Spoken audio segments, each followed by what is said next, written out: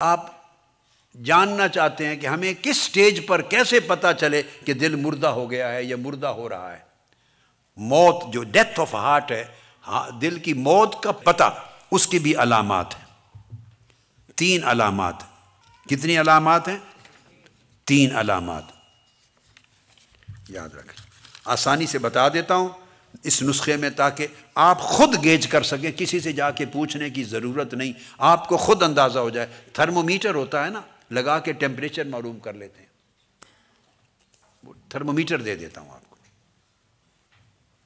Electrometer होता है, metres होते आप खुद अंदाज़ा कर लेते हैं।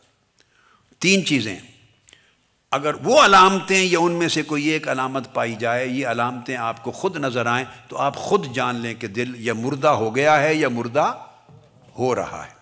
पहली, अदमुल हजन अलामाफात का मिनतात हुजन जो है, अदमुल हुजन। यानी आपकी अगर नमाज़ रह गई, रोज़ा रह गया, नमाजें रह गई तस्वीर रह गई, विरद रह गया, जो अल्लाह के फ़राइज़ और सुनन है, अगर मिस हो गए यू मिस्ड और आपको बाद में गम नहीं होता। मिस हुआ मगर बाद में गम नहीं तो समझो दिल मुर्दा हो गया है। मिस होने वाले का दिल मुर्दा नहीं हुआ। कजा हो गई, वो पढ़ लेगा। जिससे कोई फ़र्ज़ या किसी मजबूरी में मिस हो गया, फौत हो गई चीज़, वो उसका दिल मुर्दा नहीं है। मुर्दा उस वक्त है जब फ़राइज़ और सुनन और आकाम और ताआत नेकियाँ फौत हो, यानी मिस हो जाएँ और बाद में बंदे को बेचैनी और गम और दुख भी ना हो। इसका मतलब है दिल उसके फौत होने पर राज़ी है तो वो दिल फौत होने पर जो राज़ी है, नेकी के फौत होने पर, उसका मतलब है कि दिल फौत हो चुका है। अदमुल हुजन अलामा फातक मिनत गम ना हो।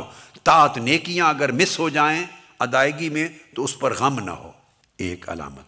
दूसरी, तर्कुन नदम अलामा फालता में जल्लात अगर कोई गुनाह करें, गीबत कर ली, चुगली कर ली, गुनाह का काम कर लिया मासीत कर ली, नाफरमानी कर ली, कोई गुनाह, आँखों का गुनाह, ज़ुबान का गुनाह, पेट का गुनाह, हाथ, पाँव का गुनाह, अमाल का गुनाह, कोई गुनाह किया तो बाद में आप फील करें, नदामत ही नहीं हुई। ऐसे रूटीन हो गया। नदामत नहीं हुई। और आदमी फील ही नहीं करता, बल्कि उसे यह भी नहीं पता चलता कि मैंने कोई ज्यादती की है। अब आप खुद देखें, बहुत से लोग हैं, वो ज्यादती करते हैं और ये वो समझने को भी तैयार नहीं कि मैंने कोई ज्यादती। दूसरा बंदा समझा समझा के भी थक जाता है, उसकी समझ भी नहीं आता कि मैंने कोई ज्यादती की। कहते, मैं ठीक हूँ। इसका मतलब है, दिल इतना मुर्दा हो चुका है कि वो अपनी की हुई ज्यादती को ज्यादती भी समझने पे तैयार जो ज्यादती कर बैठे और उसको समझ आ जाए, मैंने ज्यादती की और नादिम हो जाए। तो जब नादिम होता है तो फौरी जाके माफ़ी मांग लेता। कितने हम हैं जो एक दूसरे से गलतियों पर माफ़ी मांगते हैं? नहीं मांगते।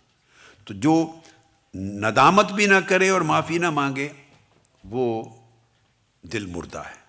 और तीसरी, वह सोहबतों का, लिल गाफिलीन अल अमवात और अगर जो गाफिल दिल लोग हैं और मुर्दा दिल लोग हैं, जिनका ज़िक्र मैंने पहले किया, जो अल्लाह से गाफिल हैं, आखिरत से गाफिल हैं, दीन से गाफिल हैं, नेकी से गाफिल हैं, उनके साथ अगर आपकी सोबत, रगबत और मोहब्बत हो तो समझें कि दिल मुर्दा है।